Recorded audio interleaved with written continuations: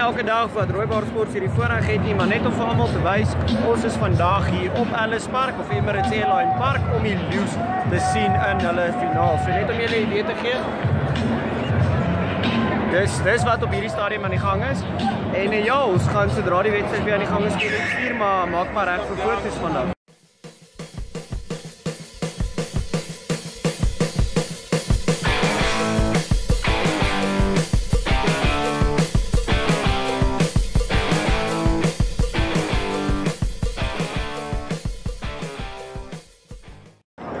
Ja wel.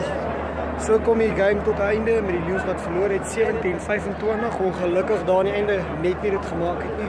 Maar dan sien ons julle volgende keer op die Mbombela stadion waar die Vrystaat teen die Pumas kom speel. So bly ingeskakel op ons uh, Instagram account vir daai en uh, al die video's wat ons 'n bietjie agter mee is op hierdie stadium gaan ons binnekort op YouTube laai.